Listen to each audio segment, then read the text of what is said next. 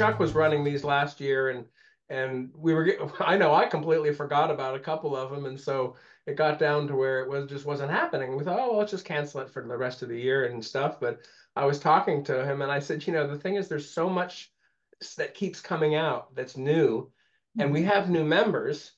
Uh, and I don't know where they're at, and so I, you know, I thought, well, if we start somewhere, we also have our members have different programs, so you want to try and cover. You don't want to just cover one program.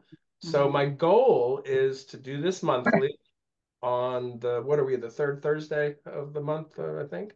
Uh, and whenever we can, we'll do it on that that same day at one o'clock. Run about an hour and a half, and we'll try and cover some some things. And I'll try and put out something in the Monday news flash about what we're going to talk about, some ideas, because then you might be interested or you might not be. So, um, but but I just thought we would kind of gauge it that way, and I had to start somewhere for today. Um, so I thought about talking about some what I call best practices. I'm I'm gearing them towards Lightroom, but you could gear that towards any program you're using, if it's Photoshop or Photoshop Elements or even Adobe Bridge, which is you know another that's that's like the redheaded stepchild of the of the programs. But uh, and they're not they're not official best practices but they're ones i use and i figure it's worth repeating because sometimes even experienced people go oh you know i hadn't thought of that or uh, that's an, that's an interesting way to approach it or something. So anyway and if you have questions or anything we can do that. Towards the end of the meeting i want to get an idea of like for topics that people want to cover different things in the in the future. So, so let's go ahead and I'm going to mention by just to remind everyone because this is going to be geared towards Lightroom, but like I said, it, it can be for any program you're using for a lot of these features. Um, keep in mind that Lightroom is a database manager that they started out real simple with retouching. And now, you know, you look at some of the stuff you can do, uh, and it's non-destructive retouching, which is which is really good. Uh, so you don't have to worry about damaging your images. Uh, it's important to uh, learn how the Lightroom catalog works. You know, they use the term import. Um, that may that's not always the best word. It could be register. You're registering these images in the in the catalog or assigning them to the catalog. You do sometimes when you when you import, you could import pictures already on your computer and just add them to the Lightroom catalog, or you can put your memory card in and you're taking them from the memory card and moving them uh, somewhere uh, to you know a different different location that you've chosen uh, on your computer. Uh, but again, Lightroom never overwrites your original images and edits. So if you if you do a shot and it's you put that yellow sunlight, you know, sunset sunlighting and you decide later I don't want that, it's it's really easy to go back in and just change the slider for that, which is that's one of the beauties of the program. Um, it one thing that's important we all know is you got to be organized, and uh, so you have to decide where you're going to store your images. That's a that's an important uh, best practice. Figure out where you're going to store them. Um, oh, Rhonda's here. Good. So we just got started, Rhonda. Um, welcome to the welcome to the to the meeting. Uh, you figure out where you're going to store your images, and the important thing is to be consistent. That's the one thing I find more and more when I talk to people about different programs they're running, and they they change halfway through, and they decide, oh, I'm going to store this over here or something. So it, it's important that you're consistent on where you store your images. Uh, you know, Lightroom by default, when they when Adobe wrote the product, they had to pick somewhere, so they usually pick the pictures folder on your on your C drive or your main you know main hard drive. And the problem with that is it can fill up really fast, and you know especially if you take a lot of pictures. So uh, it's important to figure out something. A lot of us have gone to external hard drives. Uh, I just recently switched from a from a standard hard, a mechanical hard drive to an SSD drive, solid state drive and that's much uh, i've seen a real increase in the speed at which i can do things. So and they've come down in price. That's the other thing. You know for a while i think it was during the beginning of the pandemic with the supply chain everything had gone up so much. And now you know you can get an eight terabyte drive for you know 149 dollars or something. So it, it's important to do that. Another best practice is to make sure you have different backups in places you store things. So you when you back up your when you exit Lightroom, it's going to ask you, do you want to back up?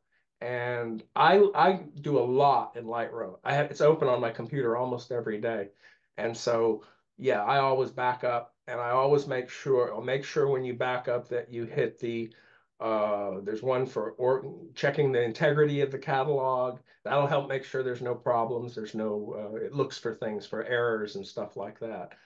Um, so and have a have a, a place to generally don't they say don't put your catalog I'm sorry, yeah, don't put your catalog on an external drive. Have that on an internal drive in your computer because it'll run faster. You can have your images on the other drive. Uh, and and generally you don't want to put everything on one you know don't put all your eggs in one basket so that's the reason i have like a my catalogs on my main drive i have a backup of the catalog on another drive and then one in the cloud and uh, you know you can never have too many of those safety protocols um, another thing you have to come up with is your, this again, I know this is kind of beginner stuff, but it's a best practice, is to figure out what kind of organizational structure you want to have to your to your photos. And if you, you know, someone who's just starting out is not going to have as many pictures, but you got to plan ahead because pretty soon you'll have two or three thousand, four thousand a year. So it's important to have uh, a big enough place to store them uh, and then an organized manner of storing them. I think most of us uh, probably started out, I don't know, may still do it, where you organize your images uh, chronologically. You know, Lightroom typically is a hierarchical uh, structure. So there's going to be a master folder, and inside that you might have a folder for the year, and inside that you might have folders for the months. And if you don't shoot a lot of pictures, that might be fine. But if you shoot a lot of pictures in a month, you might want to have small folders, you know, inside that. That's a typical way to uh, to do a folder structure in in most programs uh, like Lightroom and, and even Photoshop Elements, which has the organizer that you can can use. Um, it's important to be consistent. Don't change anything from where you from where you um, store, you know, I mean, how you store your images, how you name, you know, name your folders and stuff. Try and always have that because if you if you change midstream, that's when you really run into problems. And I, I think it was about 10 years ago, I decided I didn't like the way I was organizing and, and naming my folders and stuff. And it took me about a month to go through and get it to a, a better system that I wanted. That that brings up the other topic Make sure you only make changes for images that have imported into Lightroom in Lightroom. So if you're going to rename something, don't rename it in your Explorer window or what Apple has a different name, the Finder, uh, because then it'll have a question mark on it and you'll have to go locate where it went. So uh, if you're going to change names, if you're going to delete anything, if you're going to move a folder of pictures somewhere, always go in. Lightroom's easy. You can just grab that folder and move it over and it drops into another uh, another another folder. Um, there's no perfect organizational method. Everybody, like I said, finds their own method. I, I happen to use the folder method. I'm wondering, does any does everyone here use a folder type method for storing images? One of the other, I'll mention that the reason I ask is one of the other um, uh, systems that actually Scott Kelby, I just saw a video he recommended is he said just import it all into a one you know a folder on your computer and then go into the collections section which is always at the bottom on the left hand side and uh, and just put a make a collection for family pictures make a collection for uh, wildflower landscape or something and i thought well that, that might work but I have a lot of different things I shoot. I don't know if that would work as well for me, but for some people, a lot of people seem to like it. The one thing they like is when you go to look at folders in Lightroom, you can only see them in the library module. Once you go into develop, oh, I want to go back and look and I have to go back to that library to go to the folder. Whereas collections are always at, in the bottom of that left side, even if you're in develop. So some people, I, I just, I watched two or three videos this week that they said, oh, this is the best way to do it. And I'm like, well, if it works for you, and as I said, as long as it's is consistent, uh, is the important thing.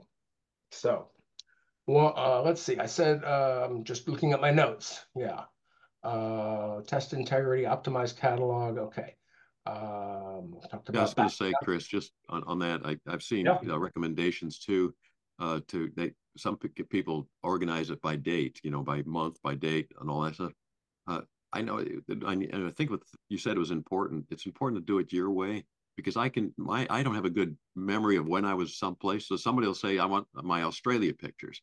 Well, I can't remember. I was there a year or two ago. Okay. Uh, I would rather have a folder called Australia. Mhm. well, that's for me. That works. No, no, and I know some other, I know some landscape. I know a landscape photographer who's a lot on YouTube and stuff, and and he said the reason he does that is he does so much at national parks and state parks, and he said he he does it by state and national park and state parks, and you know has it that way, and and I know some people who do country and stuff. Um, you know, it's kind of funny because sometimes i have a pretty good memory for where we've traveled over the years, and and um, sometimes my wife will say, "Where didn't we go to Wales or something?" And I'll go, "Let me go look in my li- right my catalog." And of course, I can look at a keyword for Wales, and I can bring up every photo I ever took in Wales. So I can say, "Oh, we were there. You know, this is the folder we were there in 2021, whatever." So, you know, it, it- you do find that's the important thing. Everybody has a different method. Yeah. Um, I think the date thing got started because most of us, when we get our first our camera, the first thing you do, it tells you put in the the the date and the and the time and the time zone you're in, and you know that's why if you're traveling, it's important to keep that up to date or when the clocks change and the new year comes. So, uh, uh, but but that because you all your pictures, that's one of the first things that goes into the metadata is the the date and the, and the time. So uh, yeah, it, and again, as as on top of what Chuck said, it's just find what works for you and be consistent. That's that's the big thing. If you change stuff halfway through, you're you'll lose things. Yeah. I'm Um, really bad about putting in keywords. I'm not bad, I'm terrible about putting in keywords and and I I tend to store by date and then I- spend half my life trying to find, oh, where's where's that spoonbill picture? you I know? used to be really bad, uh, and I remember there was a time when I hadn't been doing much with keywords, and this is about like six years, six, seven years ago, and I looked and I thought, oh, I got so many. So I just started at, when going way back in my folders, and I would just go through in Lightroom and I would look at a folder and I'd go, oh, this was the so and so trip, and or this is the you know the, the pool party, and and and I would put in the P and you can use in fact in Lightroom. I'm not sure if Photoshop Elements has this, but I know in Lightroom you have the thing where you can click on um, look at faces and it will try it'll, it'll bring you a whole it looks like a spreadsheet or a, a contact sheet of all the faces it finds in all those photos and once you start naming people it gets pretty good at when you go like uh, six months later into a folder with those people a new folder it's pretty good most of the time it's saying oh is this so and so you know it has a question mark and then you click yeah enter enter enter Hmm. and uh, that's another way to fix it easy Unless you're an identical triplet. Yeah, that's right. Which Emily is. but uh, but again, uh, it, it it takes time, just like anything. And and I I, I ended up getting all my collection, all my key. I, I keyworded every picture, I, I, even if it, when I when I import, even if it's just to say, you know, Houston or something. I shot these pictures in Houston, you know, and then I'll I'll go in and fine tune it later on. Chris, Uh, is it easy to go back? to Yeah, yeah, and? I- I'll when I get into the I'm not when I share screen, I'll Yeah. bring it up and show you. But it you can actually look. There's a collection, a smart collection over on the collection side on the left for pictures without a keyword. Oh, And what so then you when you click on that, it's going to bring up every picture that you have, and then you can just kind of go through. You could you could do a click here, shift, click there, and get a whole block of pictures and add a keyword. Boom, hit enter. It's gone. They're out of that. They've been moved out of the not keyword uh, folder. Oh, So that, that's good to know. yeah, I'll show I'll show that in a little bit. Uh, and again, you know, that's one one thing I'm looking for is questions because I was trying to think ahead, like what can I cover, you know, and not be too repetitive or whatever. So yeah, that's good to good. Thank you. Um, okay, one thing I want to mention. This is a, it's funny. It's a controversial subject because uh, you can have multiple catalogs with Lightroom. But I'm going to say for most average photographers, you probably can buy with one catalog. It can get confusing to have other catalogs. Um, it used to be when Lightroom came out for probably, you know, 10 up to about eight years ago, if you had too many pictures, you know, like 100,000 pictures in this catalog, it would run real slow. But they've, they've fixed a lot of that. So uh, they claim, Adobe claims, it doesn't matter if you have a million pictures in there, it should all run, you know, run correctly. Um, I actually have three catalogs. I have one for all my pictures, general, just general pictures, day to day. I have one for pictures when I scan with my Epson scanner old prints, or if I scan, I use my camera to photograph slides and negatives that my parents took. Uh, I just figured it was easy to have a separate catalog because I don't do that. I don't mess with that very often, but I made a separate catalog I can open up. And I have a third catalog because I do genealogy and I save almost all copies of birth certificates and all the stuff I find on the web. I save it as a JPEG. So I ended up coming up with a separate one for genealogy catalog in Lightroom. And that way, if I make corrections to pictures, I can export them in there. I'm using Lightroom as a tool, uh, editing tool, but I'm also organizing them. So that's an unusual situation. I knew one photographer who told me, was a friend of mine. He said, well, he was a working photographer. He said he also did nude photography. And he said, I don't want to mix those in. So I'm accidentally showing a client some pictures and I, I bring up the wrong folder or something. So he had a reason for, for doing that. Um, anyway. Yeah, I uh, just, I just, uh, as a, as an aside, I mean, I have one catalog for everything. I just have folders, one called personal, one called this, you know, things like that. So I, I just yeah. folder. And again, it's whatever works, you know, for you. Uh, whatever you know, it, it, it, whatever sticks, it makes it stick in your mind. Um, better is is what's important. Um, okay, that being said, I'm going to share screen, and I'm going to bring up. What do I have here? Have screen. It always tells me I want screen one. I hit share, and you should see a pelican. There you go. Yep. Okay. Nice. it's always it's always fun when you you know we've done we've all done this before, at least most of us have. We've done a Zoom call, but there's like that synapse gap where everyone's like, "Do you see this yet?" You know. and I can't figure out if it if the image is flying around the, the planet three times before it lands somewhere on a mm-hmm. server, but it always seems to take a moment for it to all go through. I still think, you know, probably the one good thing to come out of the COVID pandemic was the Zoom, you know, became very easy to do. Uh, so, okay, I've, I've got this just open because this is Lightroom and this is just, I'm going to go over some things that I think are important or good to know um, you you know, everyone in here may already know this stuff, but uh, I figure, well, that's there. There, there's, you know, you always learn something. You can always have the the chance to learn something new. So, uh, as you can see on the on, on, on do you notice my big? I, I had to go into my settings and make my cursor really big. So, because I hate when people do a demo and you can't find their cursor. So you should be seeing a large arrow. And uh, so I have my stuff organized like this. I have folders going back to seven pictures I took in 2002. That was my first digital pictures. I borrowed someone's Kodak point and shoot digital camera. Uh, so that was all I did then. Anyway, just see I have, I do that. And then I have a system where, for instance, like I said, I, I create a folder for every project. I, I call them projects. It goes back to my work days when I actually got paid to take pictures and I'd have an envelope for all the receipts on the job or something and the, the negatives and things and and I just have it's a it's a system that works for me. So you know I can say well winter birds, I know, and I might have summer birds or spring birds, or I just called it that, and it's just a way to remember them. Um, but that's that's you know over here on your on your um, uh, this part of we're in the library module, which as you see up here on the right, we've got the, uh, those are your modules. We're in the library. Okay, I'm going to go down to collections, uh, and I'm going to see here. Uh, ah, here it is. Without keywords. Does everyone see this? Mm-hmm. Yeah. Okay. If I click on that, it's going to, oh, it's an infrared. These are Chris, shots uh, probably. Chris, why, don't, why, don't, you look at the settings on that uh, collection? How did you set it up? Double click that, that. That's a smart collection that comes with. Uh, oh, oh, okay. All right. All it's right. it's in Lightroom, right. and so it's in your collections uh, folders or main main thing here, and it's it's yeah. it's down Uh, it's the last. uh, You have smart collections. I did some one here for family. That's one I set up. But that these are the ones that come up past month, recently modified video files, and you might be able to change those in your preferences if you wanted different things in there.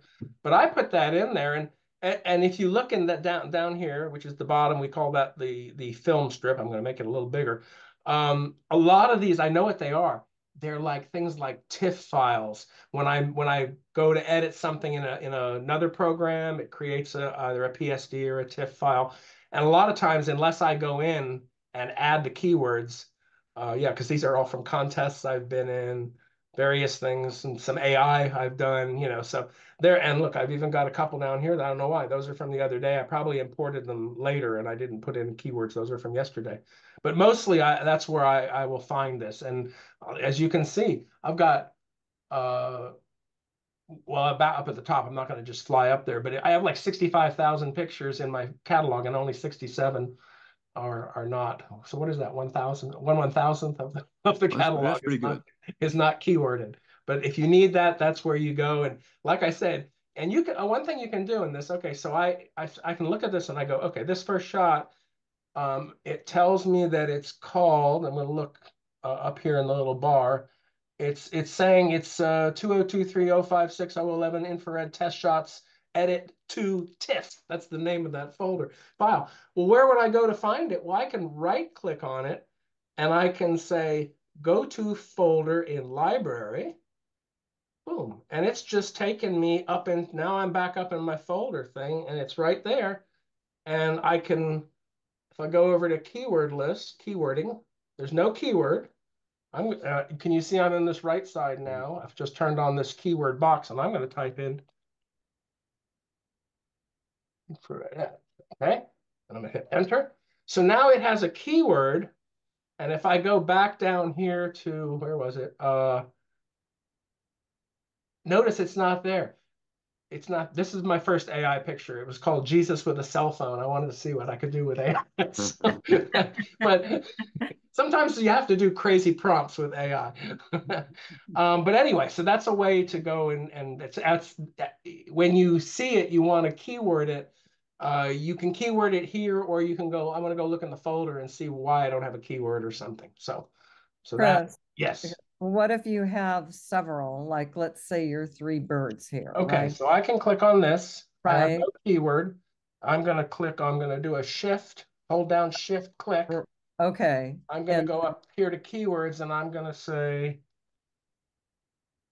okay. So you Uh, can do it like that.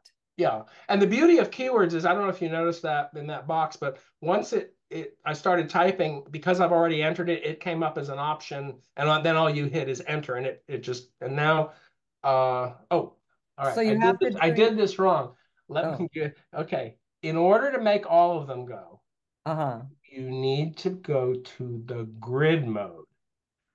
Okay. I'm in Loupe mode. I forgot Uh-huh. that when you when you want to select several pictures to do something with and don't know why they do this, you go to grid mode, which is the, the letter G, and they're Mhm. highlighted. And now if I type in, let's try it again. Uh, grid. Ah, they're gone. Okay, So they Okay. just they that's how you do it. But you, I forgot you have to go to it, it's a funny quirk in Lightroom. You have to go to these what they call grid mode. And once you're in grid mode, then you can select several images. Uh, if you want to change names of, of files, that's another thing. You have to be in grid mode when you select those images to say change name or something like that. Uh, I don't know why, but it's just one of those one of those quirks. Thank you. So let me, while we're here, I'm, I'm going to talk about, I'll just move into something else. I mean, I can stay in this folder. There's nothing, nothing wrong with that. Uh, I am going to talk real quick about, okay, so you'll notice, let's go way up here in the right. This is your module bar, tool module toolbar, whatever. It comes with other things in it. It it it basically comes with seven modules. There's uh, library, develop, map, print, slideshow, book, and web.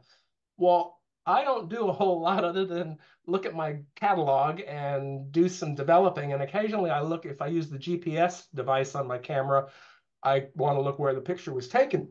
You can you can make those appear or disappear by right clicking in this black gray area, blank area. And as you can see, I only have library, develop, and map click.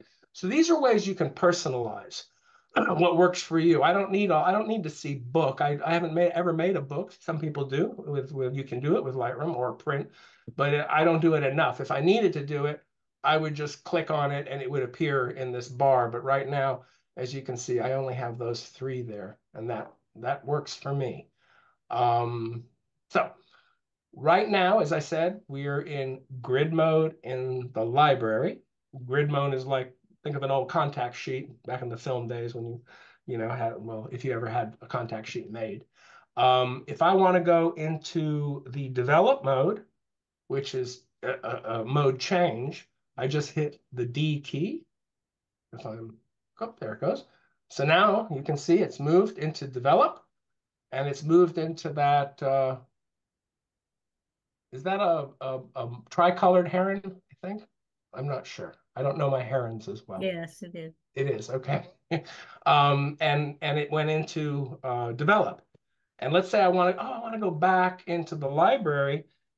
You would think you would hit the L key to go back to library, but if you hit the L key, you get this effect of having a like a light show. It's like a light switch, which I have never used before. But I guess if you wanted to just really isolate an image, um, you actually hit the E key. And the E, I use it for examine. So you can examine the image and you go back, and now we're back in the library mode. And the only reason I bring that up is those are three, re- there's a million shortcut keys, but those three are real handy because otherwise you got to grab your mouse, you got to go up here, you got to move stuff around, you know. So uh, just keep those in mind. Those are those are easy. D for develop, G for grid, and E for Loupe mode. So uh, uh, that's okay. So I'm gonna I'm gonna mention something else here. Another little tip. This is best practices tips. You can this little box of information can be changed in so many ways. This is called the Loupe overlay. Uh, right now I have it set up. Oh, I'm sick. Go away. What are you doing? I don't, I don't know why that just came up. How do I turn it off? Hold on. I have the HP assistant. Ah, go away. Okay. So uh, up here in this left corner, I'm on this image and it tells me this was my camera, was my Canon EOS uh, R7 at 599 millimeters. And it was a uh, Tamron 150 to 600 tells what lens it was. It tells a thousandth of a second at f11 ISO uh, uh, 800, and it's a 2.8 megapixel image. So how did I get that information to come up? If you go to view and you go down here, I'm dropping down to view options, you'll get a window. And here we are in Loupe view. I can put, and you can change this. You can have whatever you want. Like I have, this is what I'm on, I guess I'm on number two. Um, if I didn't want exposure and ISO, well, I could change it to just about anything. And I just find that useful information. Uh, so, because a lot of times I'm looking at things, otherwise I'd have to go into the metadata, which means I have to go back, you know, go, go over here on the right and find it. So that's, if you go under view down to view options, that's that's where that will that will put you. Um, there's two two of these. So this is view option number two. If I hit the I key, it will cycle to no option, no information, or else it, I can cycle to, in this case, I chose to have my file name, the date I took it, the time I took it, and the cropped size. So it tells me that, you know, that, that that's important stuff to know. I, again, I could go over to the metadata panel, but I just thought, well, this is kind of a good thing to remind people that you can change this information any way you want. So, okay, I'm going to go now back to um, the develop panel. And okay, real quick, over here on the right side of the develop panel, uh, you'll probably on your computer, you'll see usually the default size, it's like, no, it's not that small. But normally when you open Lightroom, the default size of this panel is pretty small. And what you find is sometimes this having it small means your adjustments are much more increased You, you barely move this, this slider and things will start changing. And so one thing you can do, again, this is all under customizing things, is drag this over. Suddenly your sliders, I, I'm not cropping it on my image. I mean, it's moving it over a little, but now you've got a lot more room. And if you want to make little micro adjustments, it's a lot easier to do. Um, so that's something you can do to customize. Uh, and again, part of best practices is learning how to customize things. Uh, one of the other ways to customize, I'm going to come down here and just lower that down. I don't need that that big. Uh, you've got your develop um, different modules or, or actions you can do. Um, we've got the, you know, basic, I've got lens correction, transform, effects, detail, tone curve, color mixer, color grading, calibration, and lens blur. A lot of people don't know you can change those. You can go into customize the develop panel. And by grabbing this little thing, you if you don't like well not, basics pretty usually the first thing but if, if you don't use the tone curve a lot you just grab it. You can drag it down to the bottom and leave it at the bottom. If you save it, though, you will have to restart the program in order for that to take effect. But what it'll do is it will change the order over, over here uh, of things. And this just happens to be an order that I like because I usually do basic first. I might check, I, I now try to do lens correction as a preset when I import. Um, but if you didn't, if it's an older image, I might, I might do a lens correction. Uh, I might do a, uh, uh, transform, uh, you know, effects is to do a vignette or something like that.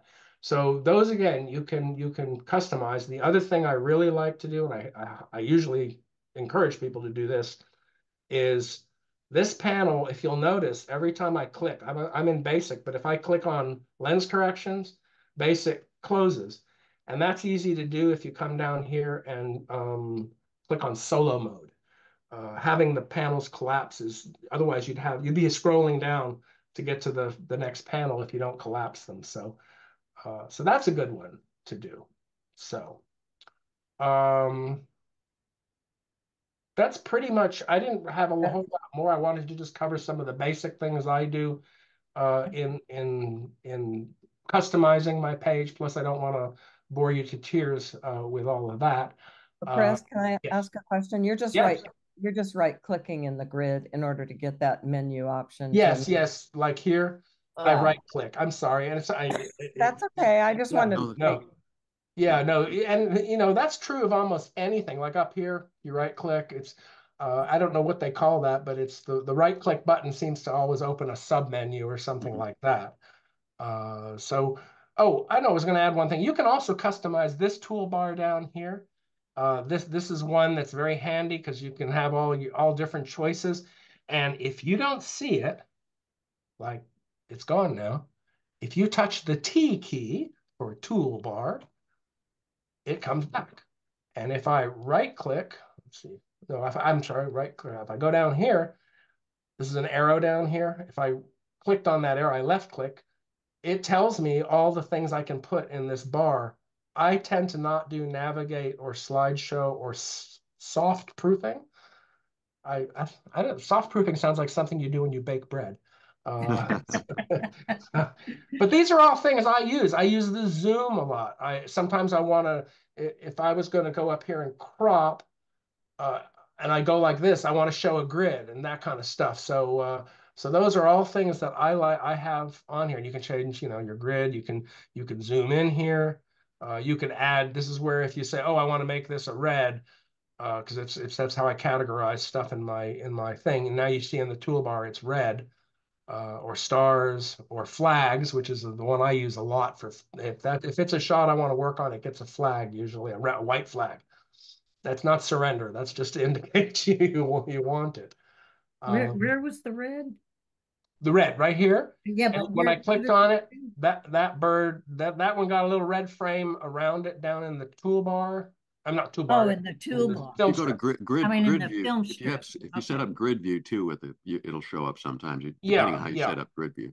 Oh, okay. Yeah, so uh, you know, they're just these are handy little things. They're they're shortcuts. I mean, you can do keys, of course. You can hit the the seven key or the eight key. It's di different ones are for different colors. Different ones are for different numbers. It's like you one wonder, you wonder about colors just for the hell of it. Yeah, I, I use green, for example. When I finish editing something, I'll hit the eight key and it turns it green. So I, so I'm looking at the grid view. I can look at all the green pictures with green frames. I know I've finished editing those. Yeah, and another thing you can do, and, and that's a good point. If you go in here, we see down here on the right, I'm just in this gr little gray area, and it says there's no filters right now. But if, if I I'm left clicking, and it says filters are off. But if I wanted to look at uh, red, Oh, okay. Whoa, that those are that's the one picture in that folder that's been flagged. So if you have a lot of pictures with colors in a big folder, you want to see those, or you want to see what's been flagged or what's gotten a number five. That's another way to do it is to come into your into your little filter thing. That's how also you like. I don't think red. I created that. It wasn't. Uh, I I I highlighted the red like it is now down here. This image, and then I said uh, save current settings as a new preset, and I called it red you that's how you have they don't it comes with a few like it will come with camera info default columns exposure info filters off flagged.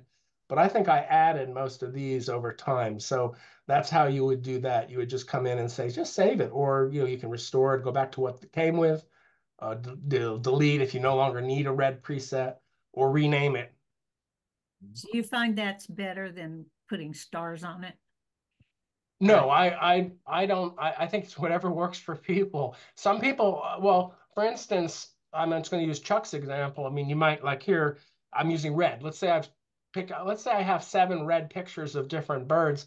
Then I might hit stars to say, well, out of these red, I like this one the best, so it gets five yeah. stars, you know, or something. So you have a double label on it. Yeah, and and oh, yeah. you can do that. It's it's it's that's what that's the beauty of the, all these programs and and I know I'm I'm going to get out of Lightroom in a little bit here, but uh, uh, for those of us that are using other programs, like like I am now, so uh, you know, but but you can do this in multiple programs. They almost all have ways. Again, these are database management programs. There's some element, whether it's uh, Adobe Bridge or or Photoshop Elements uh, Organizer, or even ON1 or Luminar Neo. They all have ways to uh, keep track of stuff like this. Okay, real quick, uh, I'm I'm going to let's see what's our time. Well, 139. Give me about 10 more minutes, Chuck, and then we'll move to you. I want to bring up, uh, and again, look over here on the left. I have a collection, and I put two images in a collection called PPSig 2024 March. That's a great way. so you're not going, hold on while I find this picture I want to show you. Uh, if I click on this, boop, it goes in and I have two pictures. I'm going to edit these. I'm going to, ed I'll edit both if I have time. If not, I'll edit one. But I thought this one might be appropriate. Um, just hold on. I need to bring up one other thing. Okay. Yeah, this one might be appropriate just because people are going to photograph wildflowers. And this is a, uh, a shot I did in 2017, Spring Wildflowers. Uh, if I went back into the library mode, I could look up the time I took it. I might even have it on the on the GPS in the map mode, although I'm not. I need to get better at remembering to turn on the, the GPS. I don't always leave it on because it runs the battery down. Um, okay, so let's just say you you're and this is a raw image now, and I'll clarify. Can, my Canon camera shoots CR2 or CR3 if it's a newer camera. That's their raw file. Nikon, I think, is NEF. NEF, right. Yeah, and Sony is ARW. Okay. and I don't know what a Fuji or, a, or um, any of the Lumin Luminar has or Luminex, but they all have their own thing. So I happen to have this. I started again. I'm consistent. When I import, I I import my my um, uh, raw Canon raw files and I change them to a DNG, which is Adobe's format called digital negative.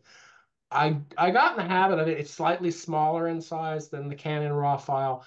It's it's it, you know it's it's easier to look at on my computer on a Windows computer. Sometimes I can't see a CR3. It's just a block, you know, it just says picture or something, and so I I find the the digital negative files are what work for me. And I just, I convert them and I delete my raws. I just, because it has all the data in there. So, um, so this is kind of, you know, again, people forget that when you import your, your images, even if you shoot a raw file, your, your Lightroom will make a little uh, JPEG uh, preview. That's always in the upper corner of the, when you do your Lightroom import, it'll say what, what size uh, you know, preview, what type of preview? Do you want smart previews, which means that you can take the computer somewhere, the drive somewhere else, and it will still, the pictures don't have to be on your computer. You'll have them in the in Lightroom as smart previews, but I don't do that. I just do previews. Anyway, so the preview looks okay, but it's not real. We know that field looks better. So the first thing you kind of say is, well, and again, there's no perfect way to do uh, an edit or a workflow. It's what you develop. I tend to usually kind of crop first because sometimes cropping will affect, I'm gonna, I'm gonna do more like a rule of thirds here. I think, and I, I shot this with a wide angle lens, so everything's pretty sharp. And I thought, well, let's just bring the horizon down. And I don't see anything on the right or left. Ah, I got a little building over here. I'm gonna take that out. And I'm when you click on the next bar up here, you used to have a done button you could click and it would go go to whatever was next. But now I click on that, it takes me into the this is your editing uh, suite here. And I'm going to look at that and I'm going to go, you know what? Let's just see what auto. Auto is here's some AI that's working in on uh, in the background. I'm going to hit auto. It's going to type ah, that's better. I mean, and you can see it moved all these sliders and kind of, it's not perfect. It can be better than this. Uh, this was shot a couple years ago, and it's it's the color is what's called Adobe Standard version two, which I think Scott Kelby said that was a little bit better than version one, which was really horrible. So um, I'm I like I'm going to make this a little more punchy. And again, whatever you like. But I'm gonna I'm right I'm left clicking on this little window and I'm gonna say let's see what Adobe Landscape looks like. Okay, it just intensified the greens a little bit more. Okay, uh, I'm looking at this and I think I'm gonna lighten. I'm looking at the ground. I can work on the sky later. I'm gonna bring up the colors a little there. Uh, I like the shadows. I'm going to hold down the Alt key, which is what's the Alt key on a Op option option on, on an Apple. On a Mac. And if I click here, uh, it's showing me that there's up in the sky. I'm not real worried about that's blown out. In other words, I'm not real worried about it because it's it's those white clouds up there. And if I click on this one, an option or Alt, and do that, okay. And down in the lower left, you're starting to see some blacks that are that are blocking up uh, there, but that's not that's not important. That's these deep shadows down here. So so I kind of like that. Um, but I, I definitely want to make my sky better. So what can I do to do that? Well, if I click on the masking tool, which is the new and improved, then I can say sky. Let's give it a second. It's looking for a sky. Detecting.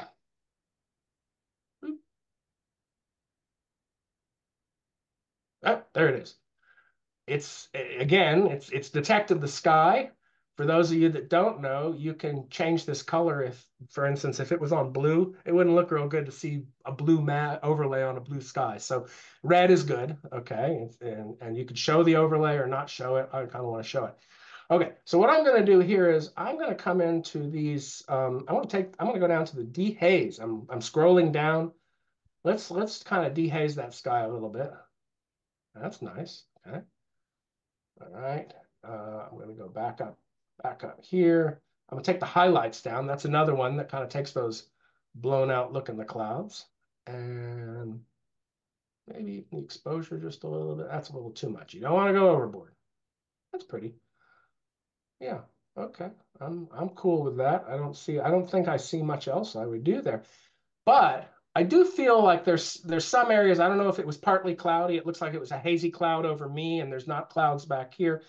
But I want to kind of do another thing here. I'm going to say, let's just get a brush, a good old brush. And if you see here, uh, let's go on something good. That's the size of the brush.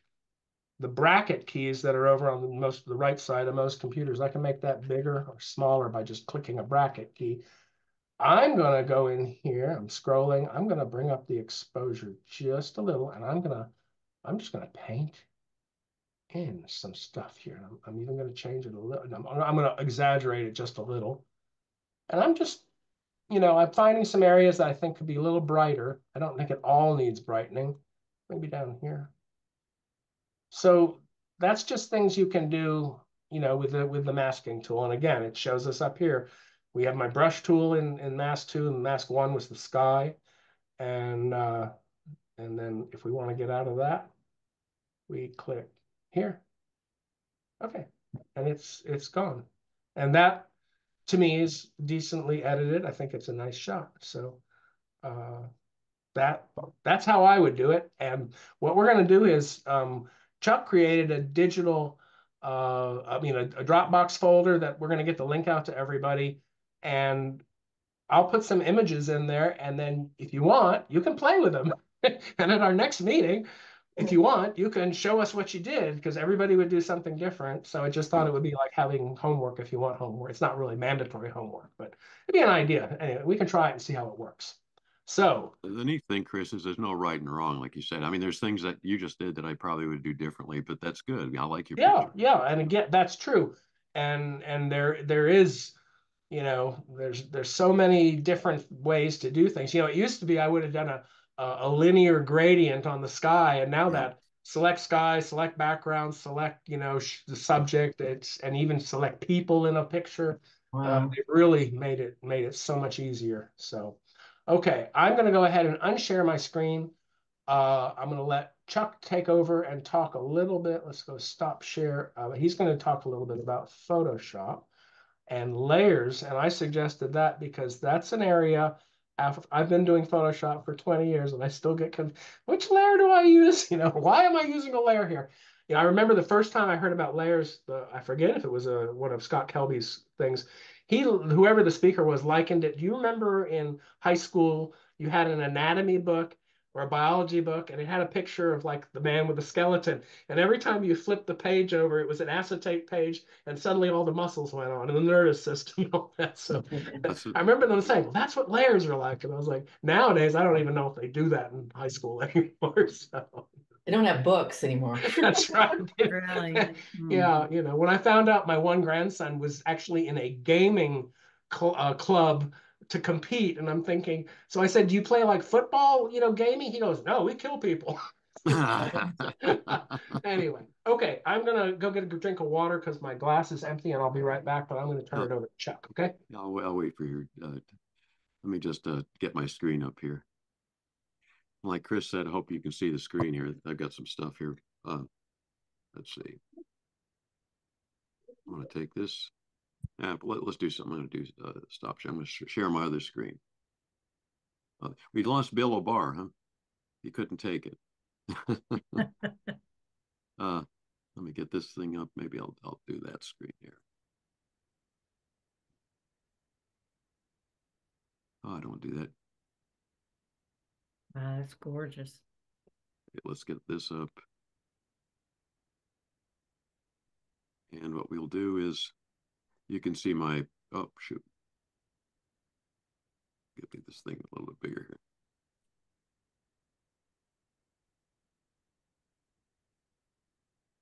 That's just a picture I'm going to use pretty soon um, yeah. to, to, demonstrate something. But I, that was happened to be in uh, Montreal, if you guys have never been there. Beautiful city. Yeah.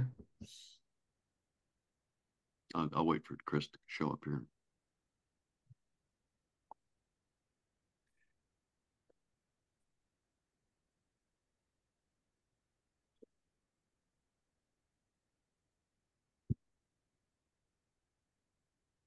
I tend to use Photoshop more than Lightroom, and I'm wondering, yeah. huh? Yeah, Photoshop is. Uh, is I, I use Lightroom a ton, uh, probably well for all my pictures, but then uh, I'd say about seventy or eighty percent of my pictures at least make it into Photoshop for a round trip, um, to do yeah. a couple of things um, that you can't do in Lightroom. Yeah, that's sort of what I want to talk about. I mean, the power yeah, of the power of layers. I don't think you can do layers, can you? What's that? You can't do layers in Lightroom, can you? No, uh, no, you can't. Well, you know, Randy, uh, you just talked about getting rid of people, you know? Right. Randy, you there? Uh, I'm here. Okay, see there, there's a tool on the left It's called the remove tool. Yeah, So I'm gonna click on that tool there. And I'm gonna paint over this guy right here. Okay, yeah, just sort of paint, paint over him. I should use the, the bigger tool.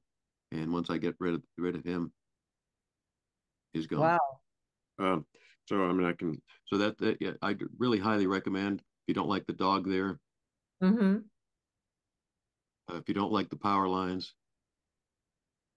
Yeah, they've made it so much easier. I I mean, those, those kind of things. And so let's get, let's get into layers. Okay. But I mean, Randy, that was, you know, that, that's, I've done that. I've got rid of a lot of people that way. I, I'm gonna give that a go. Yeah, exactly. Okay, let me, let me go to, uh, what I'm gonna do to start this thing off is, uh, open up a new file as you would typically. Now, you might be coming from Lightroom to do this, but you'll be at the same place. I'm gonna do file open. I'm gonna stay in Lightroom. Uh, I've got a file that I've called, uh, let's see, let me go to desktop. Meet- Meeting, PPSig, uh, I want to look for base. There, go base. Okay, when you, when you do open up a file in, in Photoshop, you'll see on the right side is the layers panel. Okay. If you don't see the layers panel, uh, in Photoshop, you go to window and make sure that layer is clicked. Okay, so some things that if you don't see them or you see them, it's because this Windows is, they're not clicked. I don't have everything clicked, obviously, but you'd have too much there. Um, so you start off with the layers panel, right? So I just opened an image. The first thing you'll notice with this image is if I try to do something like I get the move tool here and I try to move this image, I get an error. I can't move it. Okay. The reason I can't move it is this little lock sign here. So your images always come in most of the time anyways, unless you import a bunch of them at the same time, come in as locked layers. In order to do something that that image, I'd have to click on that little lock, unlock it. Now I can move it. Okay. And you'll notice if I do move it, move that layer, you'll see this uh this sort of cross hatch. What that means is transparent. There's nothing there and there's nothing that can be there. Anything I do on this layer is going to appear up in this area here. Um, so let me just another some of the um, uh, uh, nice uh, shortcuts to know. Control Z. I Control Z. I go back. Uh, the other thing to know is if if you uh, if you have I want to relock this this layer, I can go up and click on this little lock sign here. and Now I've relocked the layer. So now typically what you do is you start off with a, a base layer that's locked, right? The first thing I usually do because uh, layers in Photoshop are probably the most important thing to know about Photoshop. That's what where all the power lies. Uh, but the reason it exists is because Photoshop, unlike Lightroom, is not a database manager. Photoshop, when I uh, change pixels on a picture in Photoshop, I'm changing the pixels on that picture. I'm not changing some slider that I can now undo. Okay. The reason that layers exist is so you can do non-destructive editing. So the first thing I typically do with a layer like this is copy it. A, a, the, the shortcut is Control J. Now I have an unlocked version of that same layer. Okay. Now if I do anything and I screw this whole thing up, I can always go back to my original just by getting rid of this. Mm-hmm. See the little eye next to this layer? I can click it on and off. Of course, it looks the same. I'm going back now. I'm seeing the base layer and I'm seeing the original layer. So basically, that's opening up a layer. Uh, and the first thing I do is is create a new version of that layer uh, so that I can start now wor working on my picture. All right. The um and and and, transparencies are important that you'll see later. Okay, so that's let me just try try, try to see good starting points. Okay, select. Uh, now let, let me do. Let me open up another image. Okay, just to uh, to put something on top of this. Uh, let's see. Uh, butterfly. Yeah, I'll do that. All right, now you'll notice that this image opened up. The butterfly image is a separate. Up above, there's a tab here. It's a it's a separate file opened from my uh, this base layer. So here's, I've got two images open. I got three images. I'm going to show you something later on this third one. But so I got the base layer and I got the butterfly layer. Okay. Like the other layer, I can't move this butterfly layer because it's locked, right? But I, what I can do though, is I can unlock that layer and then I can take the move tool up here above and I can move it over and drop it on top of this layer. Okay, so now you'll see I've got the butterfly layer, the layer that I created and the other. And the butterfly layer is on top of this layer here. If I put it underneath it, I can drag it down. Now it's underneath the layer, you don't see it. If I turn off the, the light, the eye, I can see the butterfly layers underneath. So let me put it up above again. So just by dragging it up and down, I can reorder the layers. But I want this butterfly to show up on this layer here uh, without this white background. Okay, so like like Chris talked about before, there's different selection tools. I can select subject, just like you did in Lightroom, no different, and it's it's selected my my butterfly. If you look at the little marching ants around here, you can see that Can you uh, tell it's what that selected the says? butterfly. No. Okay. I. Now what I can do, remember Yes. the Control J uh, before creating a new layer? Because this is uh, Well, he didn't select. stay long, so Okay, what was that? uh, never never mind. I've uh, this is this is Bill. I, I Oh. my my Zoom Oh. just dropped out. I- So I've been in and out. I don't Oh, oh. didn't know whether I was muted or not. Oh, no, no, right. Sorry. But there's another way. The, the Control J shortcut I, I, I told you is actually creating a layer by making a copy of whatever you've selected. So if I've selected this uh, bird, if I if I do a Control J, now it's it's created a new layer, and you can see it has the hash marks, the transparency around it. So if I turn off this layer, which I is, underneath it, now I've got the butterfly on top of the, the, the flowers. So it, it creating layers, uh, you can do it several ways. You can do it by uh, just, uh, you know, I, I could take this layer, for example, if I want to create another, well, let's, let, let me create another version of this butterfly layer here. I can do that and I can draw, uh, I can drag it into this little plus sign down here. You can see it create a new layer. Or I can do the Control J shortcut. So now I've got two butterflies on top of each other. I'm going to click off of this one of the white background so we can see below. Okay. These two are right on top of each other. Now I can move the layers around by taking the move tool and taking one butterfly and moving it away from the other. Okay.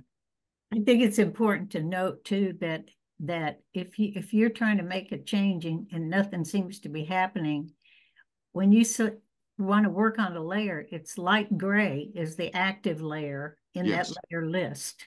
Thank you. Thank you. So this, the, you can see the active layer and it's different. Here's another layer. Here's another layer. So the, the, you can you can see the active layer. I can turn off the visibility in different layers, right? If I control click on a layer, a command or control click, you see I clicked it and it's selected that item. Okay, so I can select different items. I can go down here and control click, it'll select that item. Um, or just select the entire layer, but that, so that, so there's different things you can do. Um, I can change the order of the layers. And now once I've, uh, I've selected a particular uh, layer, for example, I can take this move tool. Um, let's just go to, I'm going to deselect here and go to uh, selecting that layer there. I can make this butterfly smaller or bigger. Okay. I can do things like uh, I can rotate this butterfly. Okay, and that's on a, on a separate layer. So if you look over here at the layers panel, uh, you it'll it'll sort of mimic what I'm doing. Okay, so now I've got two butterflies. Uh, the big butterfly is is is higher than the other, or on the layer panels is is uh, is is on top of the other one. If I want the small butterfly to be on top of the other one, I'd have to move it up here. Now the small butterfly is on top of the other butterfly. So the layer layers are just simply like Chris said, on top of each other, and you can move them around. Okay. There's different things you can do do with layers too. This uh, um, I can change the opacity of a layer. So let's take this big butterfly. I'm doing this. Now you'll notice there around the layers there are different menus. Okay. I can go up here and go to layers. And there's a bunch of different things. Yeah, I can flatten the image. By flattening the image, it gets rid of all the layers and everything is where it is. I, when I talk, talked about destructive editing, this is where you destroy everything you've done and, and make one picture out of it, if you will. I can merge visible. If I have see certain uh, layers are visible and some are not, this would merge all the layers that I have the eye on them. So that kind of thing. So merge visible. Uh, and, and it's Chuck, good. I heard I heard one photographer who said when you flatten the image, it's almost in the old days when you were mounting images and you put it in a dry mount press to, to mount the print. It's like once it's mounted to the mat board, you're not getting it off. So you're not getting it off. So I mean, if I I'll hit flatten because I can undo. So I'll flatten the image and you watch watch what happens to these layers here. Okay, flatten the image. Discard hidden layers. Yes, because the hidden layer is the one that's not visible. I'll say yes. So now it's had it's one image and it's locked. Okay. The way to undo that is Control Z. Okay. Or uh, for some reason I didn't have it. I thought I had the history panel up here. History panel. Okay. Um, the uh, oh here here's history. Okay. So I do have here's history. I can go back all the way to the very first thing I did, or I can go back to just before I flatten the image. So I can go along, and and this uh, the Photoshop will keep this history for you. So I go back to layers. Now the history panel, I have it ch chosen to, to show up over here. Like Lightroom, you can move things around. I can put the history panel on the side over here, for example. Okay, if I want to. Um, so I can actually move the history panel around to where I want it. I just happen to like it down there. Okay, so that there we have our layers back now, uh, including this this uh, silly one we don't want here. So that's some of the things you can do. The other things you can do like I said, there, there's there's these kind of things. You can create different layer masks. I'll show you what that is in a second. There's this menu here above the layers panel, and there's a another menu down below it. Okay, so what can you do with some of those? Um, I can change the opacity so that if I'm on the big butterfly, I can make him less, so I can see see now is a see-through butterfly.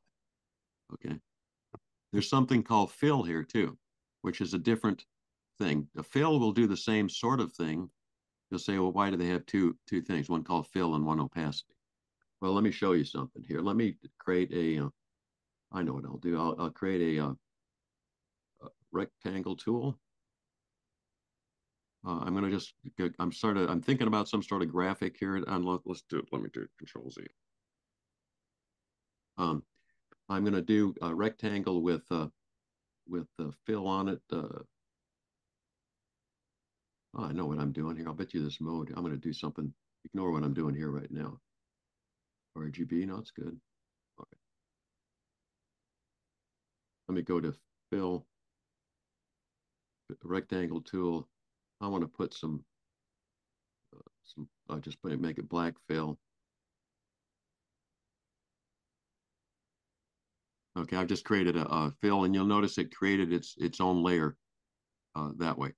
If I if I go to opacity on that layer, it's just like anything else. I can make it less or more opaque. The difference between fill and uh, and and uh, uh, opacity is if I put a special effect on this block.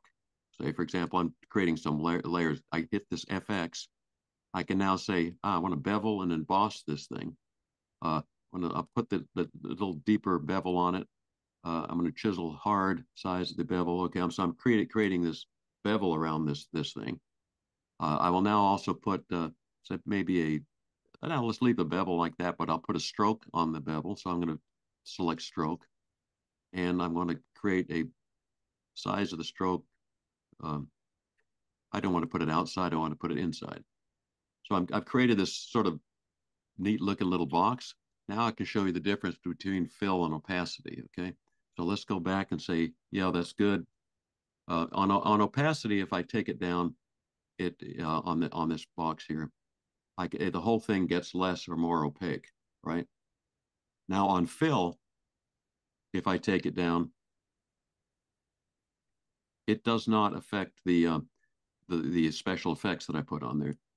So the difference between fill and opacity is that any effects you put on, fill will keep them in there. Um, and sometimes that's good if you're if you're if you're doing uh, uh, text and you want to have an outline on the text, you want to, to have the text fade into the background, but not the outline, things like that. You, there's some different things you can do. So there's a difference between fill and opacity. Um, uh, that's one thing. So that's that's that's the FX box, and that's the uh, uh, the fill and, and, opacity boxes. There's also blend modes. Okay, so if I look at uh, uh, blend modes, uh, let let's just take this box again. Now let me let me do another box. I'll create another box here. box. I'm going to do the fill is going to be. I'm going to have 50% gray. Let's let's do something different. I'm going to create a another layer on top. So there's another way to create a layer here is just hit, before I create a layer by dragging one of these layers in and copied it, if I just hit the, this little icon down here, blank, it creates a blank there. There's nothing, there's nothing in that layer. You're looking right through it. That's why you didn't see a change on the screen, but see on the sec second. I can now fill that that box over there. I'm going to fill that box um, with, I have no, I know the shortcuts. that one's uh, backspace delete, but that's actually just fill. I can also uh, uh, just do a fill uh, using some of the tools over here. I'm going to fill that with 50% gray. If you're if you do want to do non-destructive dodging and burning, this is a good way to do that. I'll turn this light off.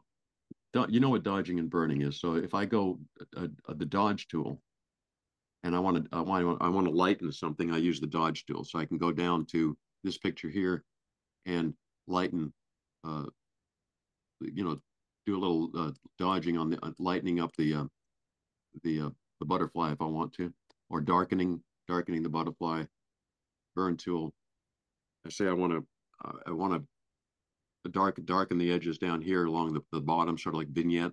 So I'm I'm creating a little darker area down the bottom of the picture. So I can do that, but as I do that, it's, that's destructive editing because I'm actually changing the pixels on that picture there.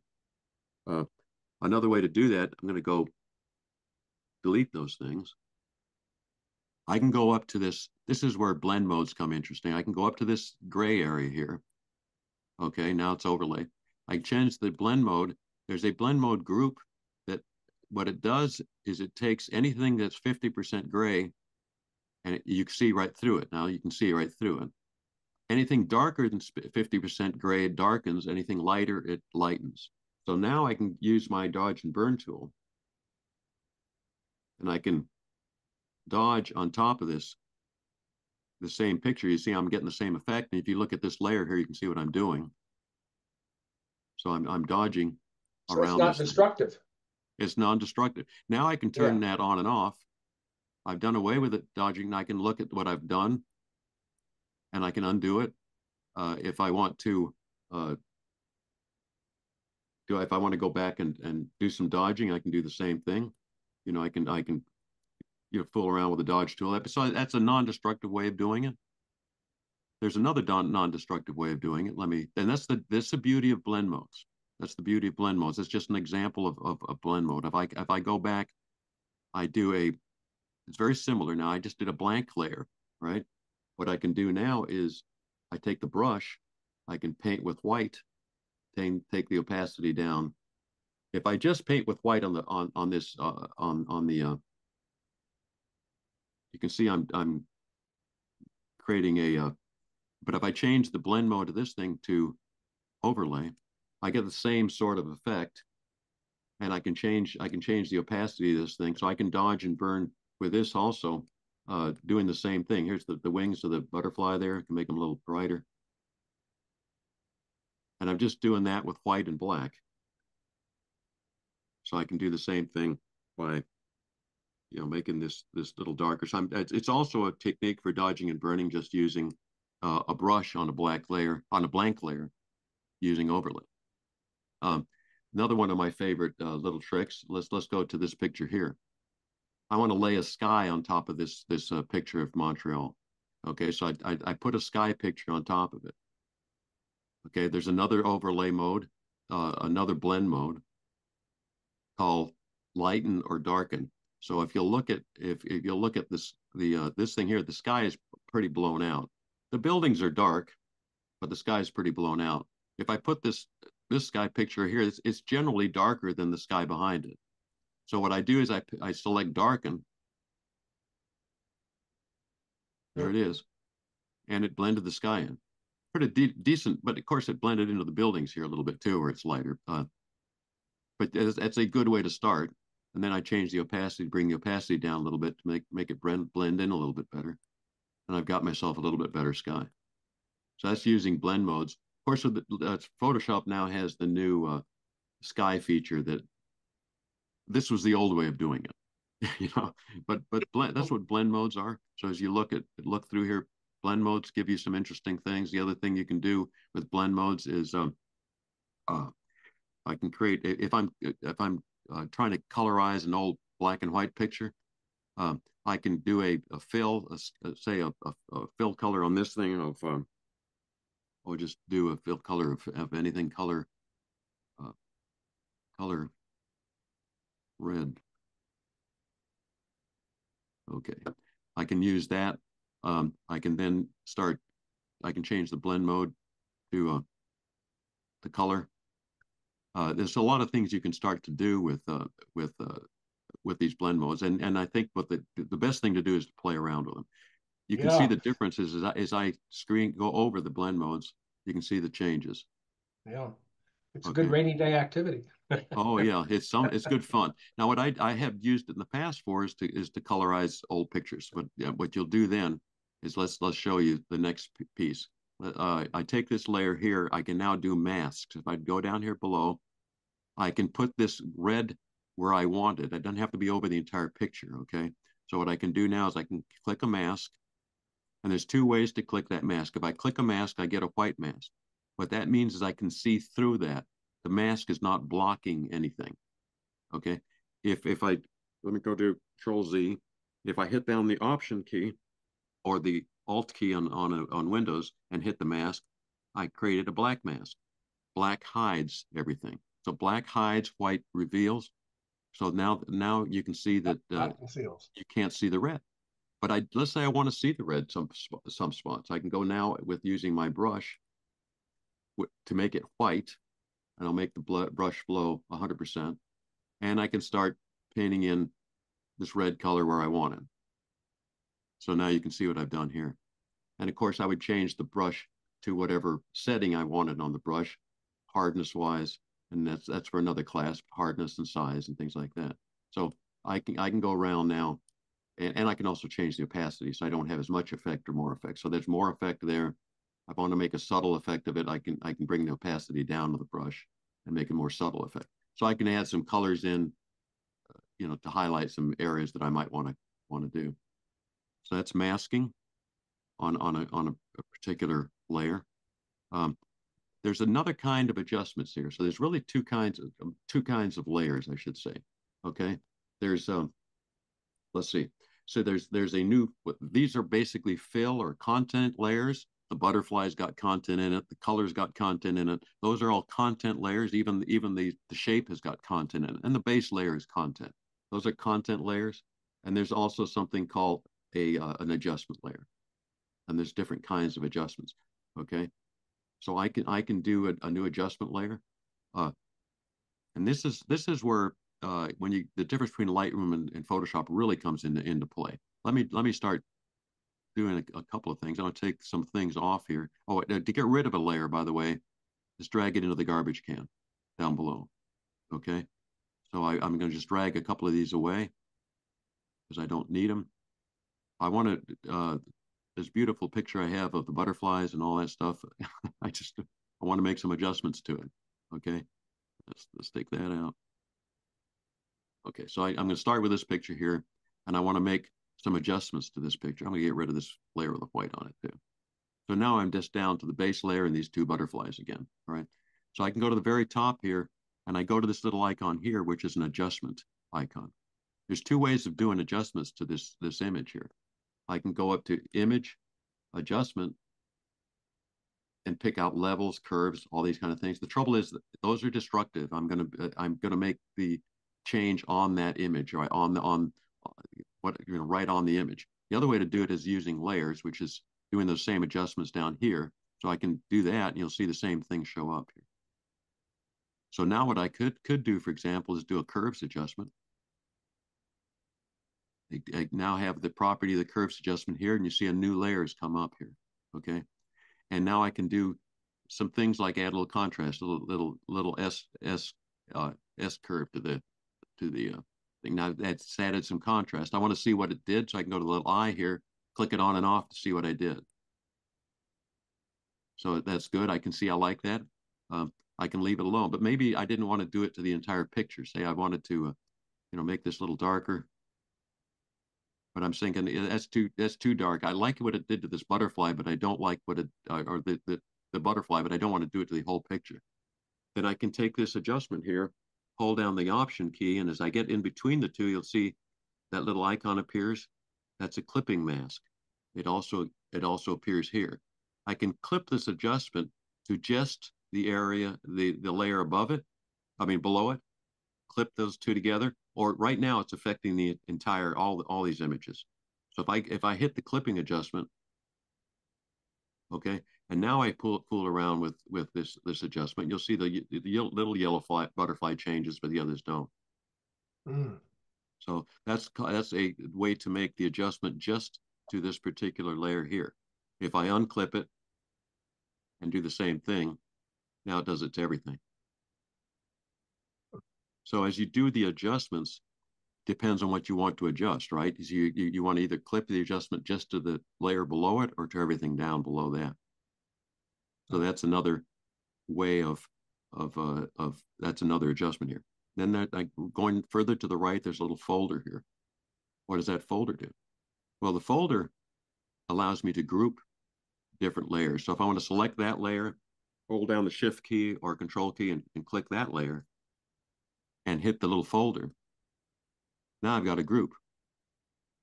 Now these two things are together, both butterflies, and I can now rename the layers. So let's go and do that. Here's the base layer.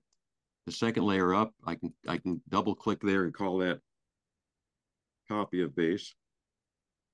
So as Chris said, in Lightroom, keeping organized is important. Sometimes you get into this thing, you'll have I, I can get into some of my images will have 20 layers on it, you know, and, and the group, I can call that butterflies. If I can spell, anyways, butterflies. And if I can open them up, I can see there the butterflies on here. And what, what's nice about that is I can add a mask to the entire group if I want to. Okay, so now if I go to that mask and I go to, uh, let me get my paintbrush and exit out, I can now start, um, let's see, I don't want to do that with paintbrush, paintbrush, X. Start painting on the mask here, I can get rid of get rid of uh, parts of the butterfly if I want, or this part of the butterfly, because it's applying to the entire mask. Oh, okay. Uh, so, so uh, you can see what I'm doing here. So you can group things. You can also change the blend mode of the entire group. So if I, uh, let me get rid of the mask by dragging it down to there. So if I wanted to, uh, I can get this butterfly thing and I can now go, it says pass through here because it's, it's, what it says is it's, it's accepting whatever these blend modes are. These were both normal, but I can change the entire group here. Instead of pass through, I can change that to darken. Remember, darken takes the darker pixels and shows them up. So now if I were to move the, uh, the, uh, the butterflies around, um, you'll see the darker pixels show up. So, eh, but the others uh, show through. So that like, you get a different effect here. Same thing with this guy here. So the blend modes, uh, because it, it's it's using this darken blend blend mode from the from the group. Um, anyway, so that's that's an, that's the other thing that happens here. I think I showed you that group grouping thing. That's create a new layer, and that's the garbage can. Up above, you've got uh, two blend modes and fill. That's about it. Uh, uh, text. Oh, there, there, there's a, um, there's, there's another thing you can do with clipping that's pretty, pretty nice too. Let me, let me do the, uh, let me do this. Uh, let me, let me do to, uh, go to layers. I don't want to do text. Um, layers. Okay. Let's see. I'm going to go back and get all these guys here. Um, I don't want to do that filter. Let, us go back to the images. Um, I'm going to go back to the the the, uh, the, uh, the image here, put some text on it. It's another thing you can do with clip layers. Let's go to uh, uh, butterfly. I will I will just make that text bigger.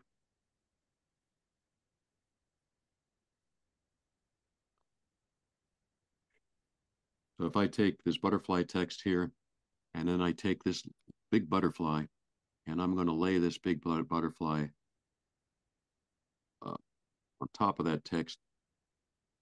You'll see what I'm doing in a second here. I'm going to clip the butterfly to the to the text below. So, and you'll see what you can do to the uh, let's see butterfly butterfly. Okay, butterfly text and option click. Okay. Uh, it wants me to complete the action. Okay, guys. Uh, heck. Where, where am I missing something here?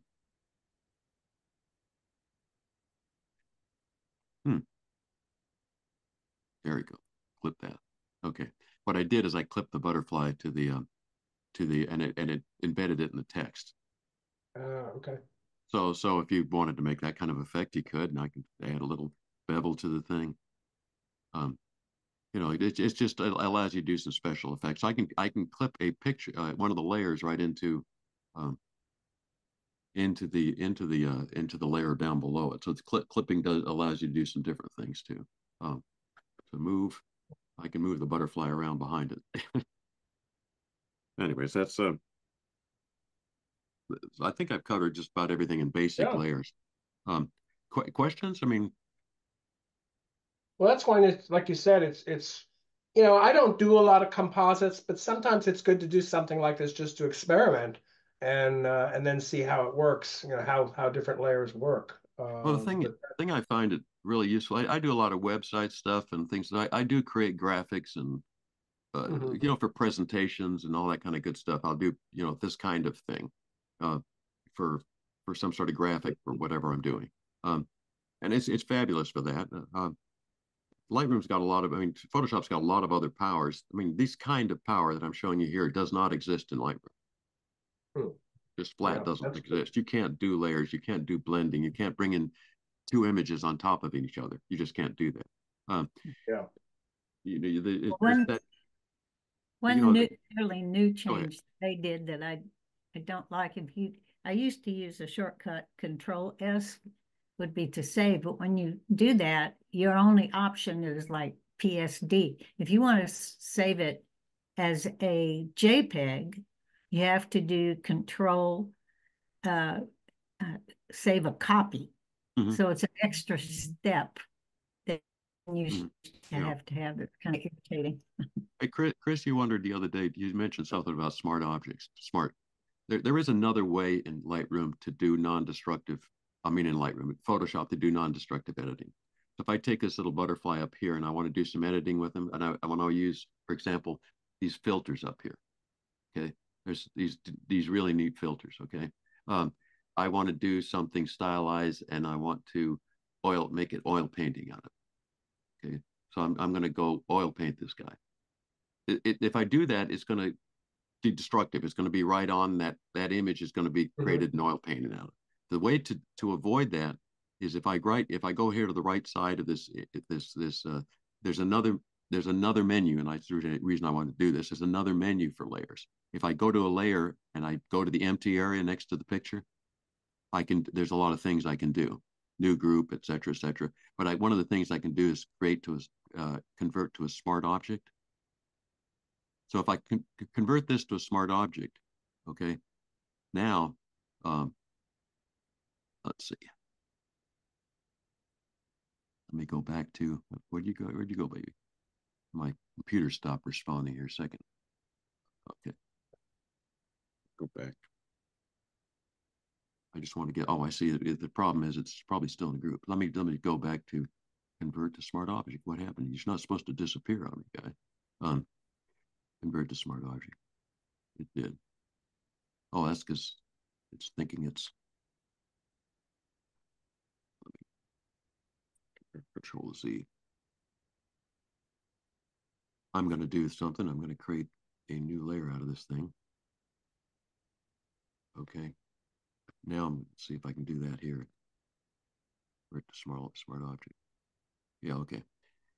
For some reason, it's uh, not doing what I want it to do. Um, Maybe you could ungroup it.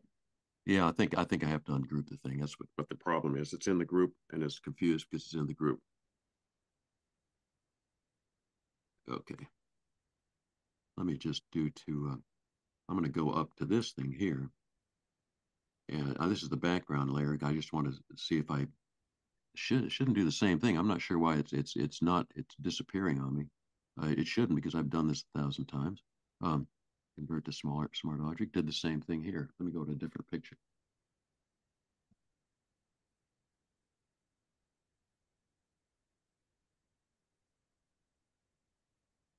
I do this all the time. it doesn't disappear on me typically. I don't use this computer all the time. I use the one downstairs. Um, okay, that's not going to work. Okay, flatten, great. Clipping mask, convert to layers, re reduce. See, it's giving me a different menu here than is the other one. Convert to smart object. Okay, now that that did the right thing. That little icon means a smart object. Now, if I go to uh, these filters up here, and I use any of these filters, okay, I can use, uh, uh, let's go to uh, stylize uh, oil paint. Okay, now I get an oil painting filter. Uh, I can do some some crazy things to this thing, create an oil painting look to it. Uh, you can see what it's it's it's hard to see what it's doing here. Let's go down to where you can see something. Let's go to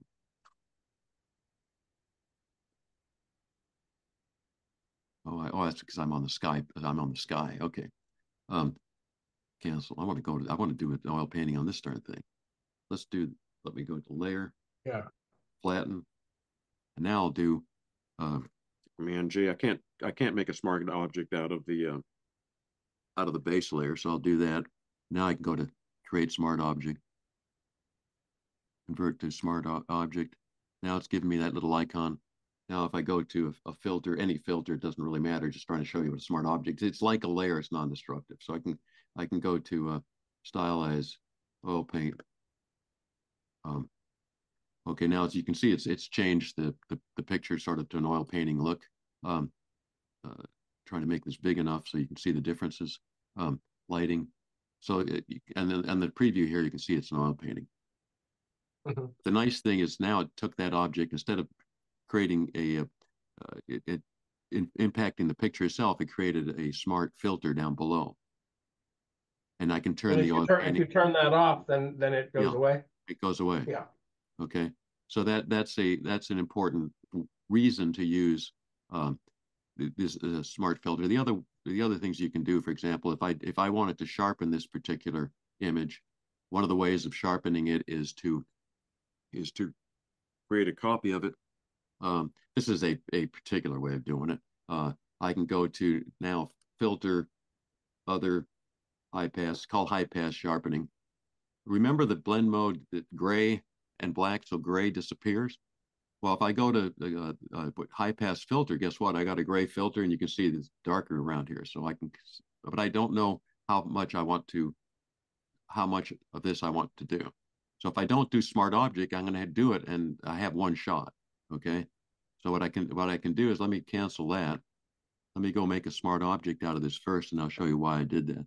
Um, convert to smart object. Now if I go to filter, other high pass, I can now say, okay, I like it. Let's see what happens here. And I can change the blend mode now back to uh, overlay. And with this high pass filter, if you can see it, it pop makes everything really pop. If I go in closer, um,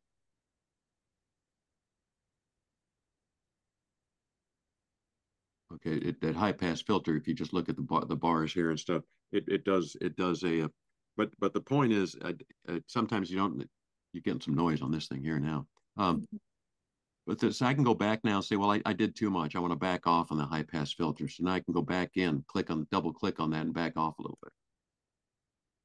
You know, until I get it to where I want it.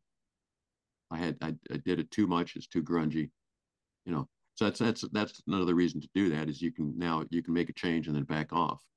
Um, so that's, that's a, that's, that's, that's the it, alternative to uh, layers is smart object. Anyways, enough of that. Okay. Can I just say that when you're talking destructive versus non-destructive? Yeah. One way, when you're finished making all your changes and you go to save it, save it as put a letter B after it or something. And it, you haven't overwritten your original file. So when you get to the very end and, and you don't want to permanently change your original picture, you can just name it something different and your original file is still there. That, that, that, that, that's true, uh, uh, Emily, if you're coming in like I did directly off a file into Photoshop. If I come into Photoshop from Lightroom, that's not a problem. Because Yeah. Lightroom won't save on top of the old picture. Lightroom will save a new picture, a new version. You know, so you'll have two pictures. You come back from Photoshop and you'll have the original one was there.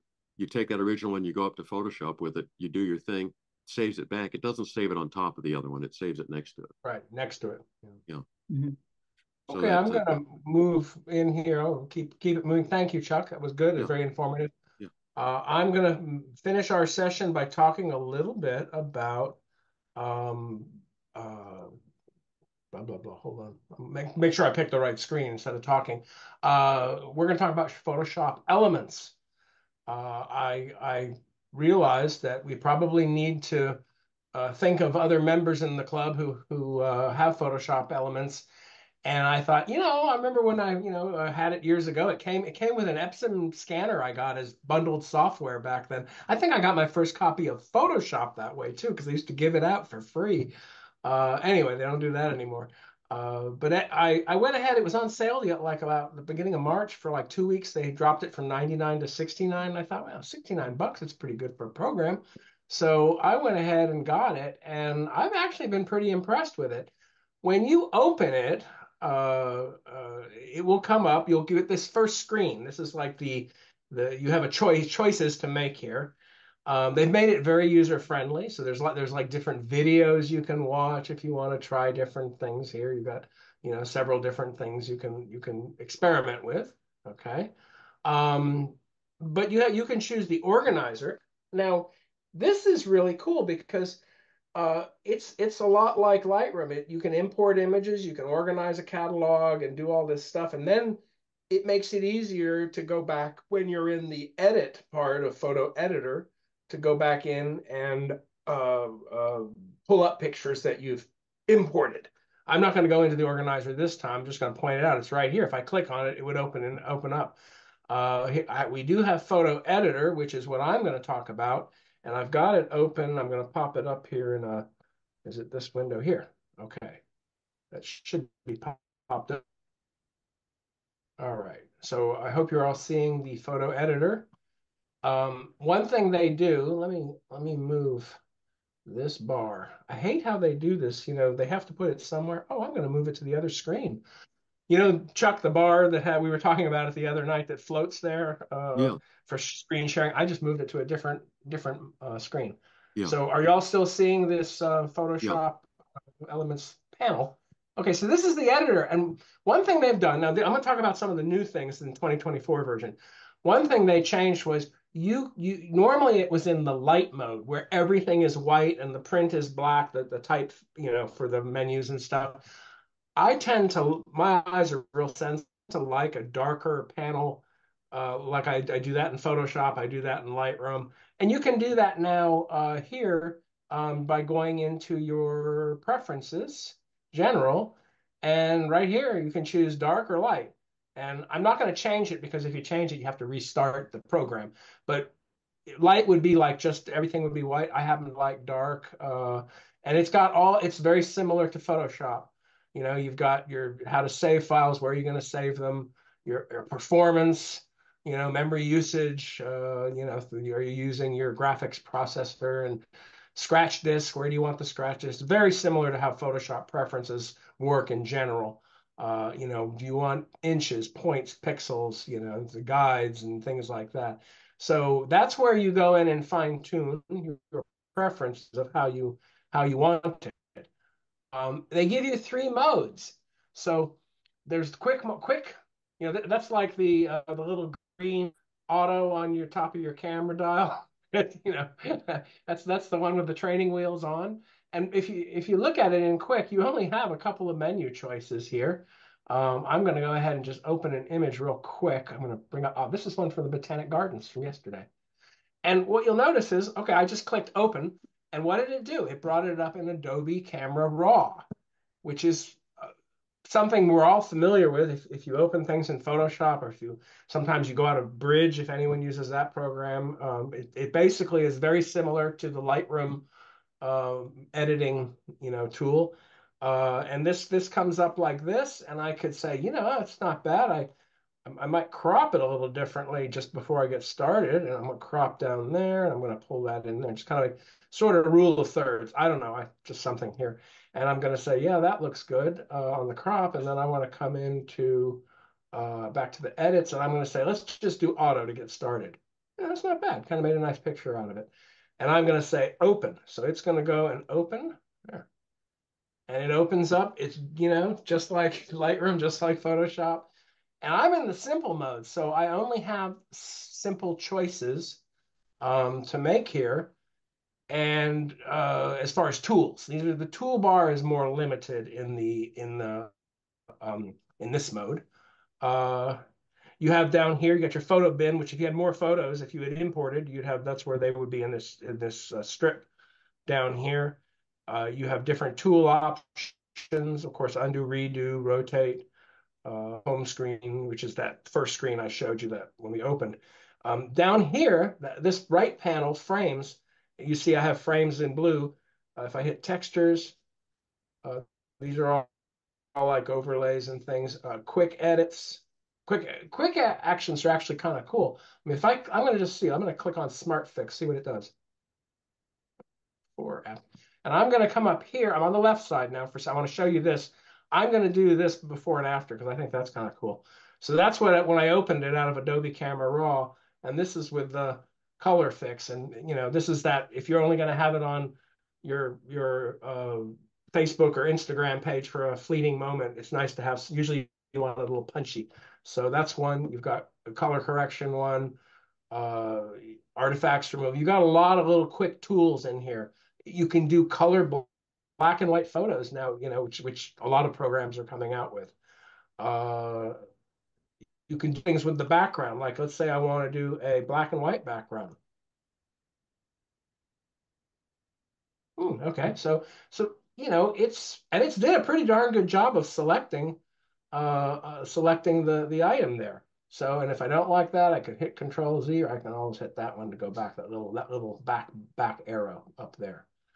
Um, so these are all things that are in the quick action tools. Uh, subject, you can do that. Uh, black and white subject is what we just did. Uh, you can add lens flare, a vignette, a stained glass look. You know, there's there's a lot of things in here. I was impressed um, impressed with this that you had this many this many options. They also have the guided. I'm going to click on the guided, and that's going to take you to this window. The guided tool is it's it's almost like it has tutorials. So if you wanted to, you know, you want to learn how to add text, uh, it, it can be done in this. Uh, if you're not sure how to do brightness and contrast, uh, that that's easily done.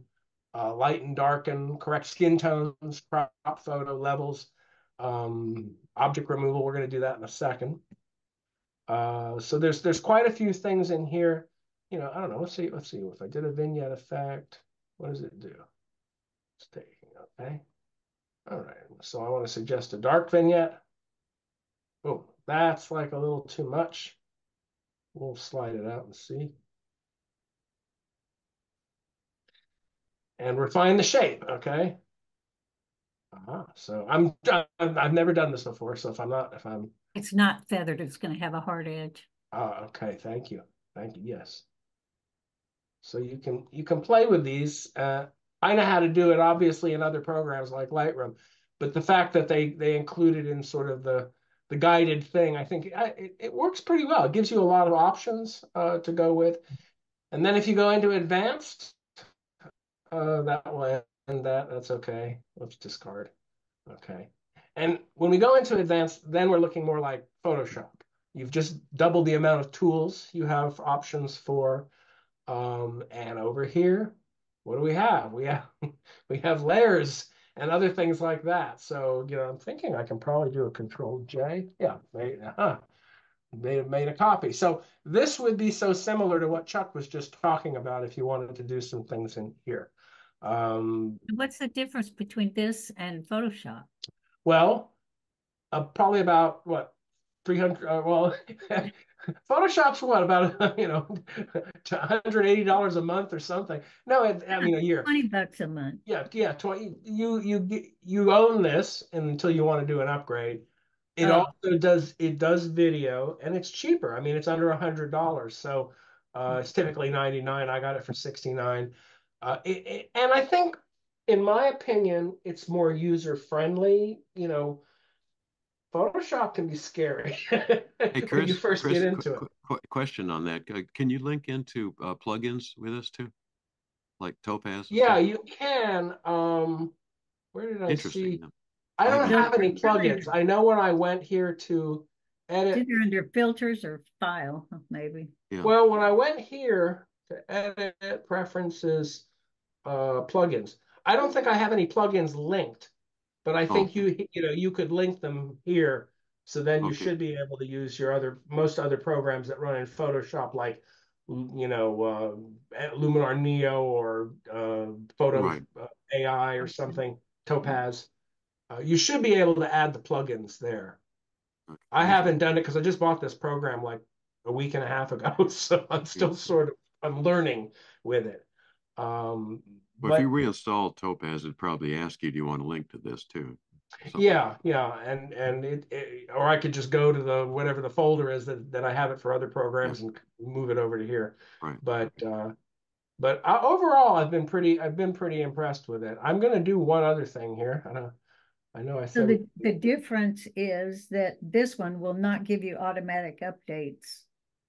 Right. Well, you you'll get updates probably for the version, you know, until they go to version so and so and they move up a number. If, if they're like decimal point updates, that's typically how you get those. Okay, And then when they go, when they come out with Photoshop Elements 2025, you you might have to pay an update uh, fee for that, like a license fee or something. Um, but, you know, the the thing is, you have it on your computer, and and you own it. And this also has the the the Premiere Video uh, program, so you can edit video in it. So uh, it it's it's yeah, it, it- it's got it, it's one of those things. If you want a simpler version, I think it's more user friendly. Um, I'm going to open one other thing here. I'm going to say open uh, edit. I'm I'm going to bring up one of my grandkids' soccer game pictures, and I'm going to say, okay, let's say we want to do we want to edit this. First of all, I want to crop it a little. It's it's in the camera raw. I don't think the goalie is really important to this picture. Uh, I could crop this guy out, but then you'd be cropping his arm. I'm just gonna leave him there. Okay, and I'm gonna say, uh, let's just go ahead and do an auto. Yeah, that's not bad. Okay, we're gonna open it. Okay, hold on, it opened in another window. Okay. And I'm gonna come over here and I wanna go to the guided. Okay. Yeah, guided, and I'm gonna do an object removal because I don't like that big trash can in there, okay? And I'm gonna say, let's just do the, using auto here on the thing, and it says, click and drag to draw a rectangle around the object. Okay, I'm gonna get rid of the trash can. I'm gonna go like that. Oops, I didn't quite go all the way. Ah, it did a, it did a pretty good job. And I played with this the other day. I could go in there and refine this this clipping mat or this uh, ant trail, but what I found worked better was to just go ahead and say remove object, boom, and then I can say Uh, let's do do a little more. I'm going to remove it over here now. It's it's almost like it two tone color. It needed that, and I'm going to say, and it did a pretty good job of removing that. And I'm going to say, remove object. And you know, other than a few shadow variations, I mean, you could always come in, you know, with like a uh, bring that, make that bigger. You could come in here with a a little healing brush and maybe you know, if you wanted to just kind of, I don't know. Well, that made that white. Uh, yeah, so you you you have options that you could do there. You can take that whole thing out if you want. Let's just move it out. Well, it didn't go away. Okay. Control D. We'll just leave it. it's not that bad. the rule in retouching is don't make it worse. You know? So, but this is just an example. I, I'm I'm only I I'm just getting into this program, so I'm I don't have a whole lot more for you, but but I don't know. And Pam, is this much different than your version that you're running? Oh, Pam, you're muted. okay, I'm mute. Um, it, no, it it's very it's very similar. That makes it easier the way you just did it there, which is not in my older program. But um, the one thing I noticed that you went by, it had um, Add Sky. Did, have you tried that one in this? I haven't tried that. Uh, that that's probably under guided. Um, I have not tried that one yet. I'm gonna say no, I don't want to change that. Um, yeah, so you can. Uh, where did it have Add Sky? Was that in the guided or not? I don't know. Um, I'm not I sure. thought I what I- saw it there before. Yeah. Yeah, I saw it and it was. Well, I might not have an image up, and that might make an uh, uh, might make the reason. But like I said, I've only had this for a week and a half, so I wanted to kind of more just do some of the highlights of the new features on it. Uh, I think I think it's it's going to be a really good program. It's just again, Yeah, do you want? Do you need? Does everyone need a, a full bo- version of Photoshop? Maybe not, but if you get Lightroom, you already they, you know they throw it in there. You get Bridge as well if you use that. Uh, Mhm. so And Camera Raw. Yeah, yeah. So, and this, of course, Adobe Camera Raw basically opens in all these programs, and it's very similar in all the programs. So, that's pretty much all I have for this meeting. Um, so I was trying to keep it, you know, sort of roughly hour and a half to two hours. Um, why don't does any is there anything you'd like us to cover in future? I'm, looking at the monitor over here. I'm going to move you guys back over here. Um, let me know if there's something we should be covering or not, or, you know, different things to cover.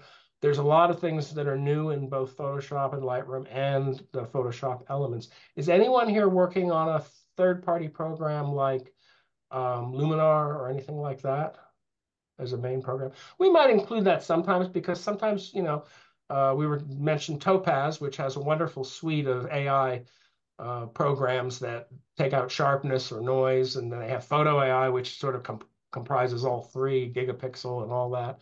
So we will we will do some stuff with that. I was telling Chuck just before we started, one of my shots, I posted it on Facebook uh, yesterday, but it was one of those iris plants, and I did what our speaker said to do. I just sat there and waited, and a little yellow jacket landed, and I did a shot of it. And and when I when I processed it in Lightroom, it looked pretty good. And I thought, you know, I could be a little sharper. And I took it into Photo AI, and it like zap, it just just fixed it. So, all right. Oh, you took me out of that. Good. Thank you. No, it's just okay. I wanted to see your pretty face. Uh, okay. Well, that's all I have for today. Um, but I just want, you know, I think it's a good way to start and just kind of cover some basics. Uh, I'll we'll come up with some other ideas. If you have things you'd like us to cover, send me uh, a- message, Chris at chrissummers.net. That's a good way to get rid of get rid of me, get get in touch with me. And uh, we'll just, you know, and if someone else wants to host the segment, something you've learned how to do, I'll also get out the, we'll send out a link, we'll post up some photos. And if you want to play with them, it's just interesting to see. We might have time at a, at a session to to look and go, wow, ever, you know, you did something I would have never done, but it looks great. You know, something I like that idea, Chris. I think that could be yeah, I fun. like that. Yeah, okay. Well, I'm gonna let it you go. go. My, hard work. my wife and I have to go get some Bundtinis. It's our uh, daughter, our daughter-in-law's 45th birthday, so Oh, we're headed to the Bundtini place. So, Thank you very much, everybody. Shocking, Thanks. Chris. Thank you. Thank you. Good stuff. Thank you. Bye. Okay. Both. Bye. Okay.